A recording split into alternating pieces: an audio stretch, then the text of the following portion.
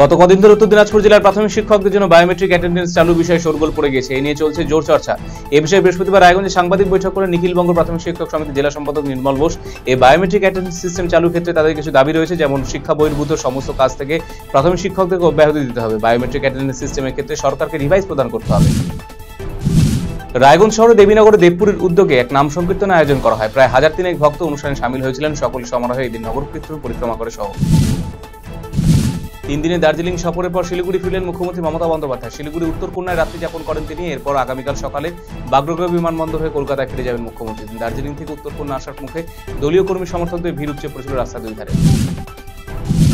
শিলিগুড়ি মহকুমা বেশ কয়েকটি স্কুলে ট্যাব না পাওয়ার ঘটনা সামনে এলো। স্কুলগুলোর মধ্যে রয়েছে শিলিগুড়ি, হাকিমপাড়া বালিকা বিদ্যালয়, Matigara, Harasundari Vidyapith, Salbari, Ilapal Chowdhury memorial high school, তেমনি বাদ পড়ছে না new Jalpaiguri railway colony high school. জানা গেছে, সবকটি স্কুল মিলে বেশ কিছু ছাত্রছাত্রী ট্যাবের টাকা এখনও পায়নি। বিষয় শিলিগুড়ি, হাকিমপাড়া বালিকা বিদ্যালয়ের প্রধান শিক্ষিকা শুভ্রা চক্রবর্তী জানিয়েছেন, ওই স্কুলে ছজন ছাত্রী ট্যাবের টাকা পায়নি। যাত্রী বোঝাই বাস এবং ট্রেলার গাড়ির সংঘর্ষে আহত হলো চালক সহ মোট তেইশ জন। বৃহস্পতিবার দুর্ঘটনাটি ঘটেছে শিলিগুড়ি জলপাইগুড়ি জাতীয় সড়কে ফাটাপুকুরের কাছে। ইতিমধ্যে আহতদের চিকিৎসার জন্য হাসপাতালে পাঠানো হয়েছে বলে খবর। রাজ্যের একাধিক জেলায় তরুণের স্বপ্ন প্রকল্পে রাজ্যের দেওয়া ট্যাবের টাকা উধাও হয়েছে। স্কুল পড়ুয়াদের বদলে সেই টাকা চলে গেছে অন্য অ্যাকাউন্টে। ইতিমধ্যে সেই ঘটনায় বিভিন্ন জেলা থেকে গ্রেপ্তারের ঘটনা ঘটছে। কিন্তু কীভাবে অ্যাকাউন্ট বদলে অন্য অ্যাকাউন্টে টাকা চলে গেল? রাজ্যের ট্যাব দুর্নীতি তদন্তের প্রক্রিয়ার জন্য গঠিত হয়েছে সিট। বৃহস্পতিবার তথ্য সংগ্রহ করতে সিটের প্রতিনিধিরা পৌঁছে যান বিকাশ ভবনে।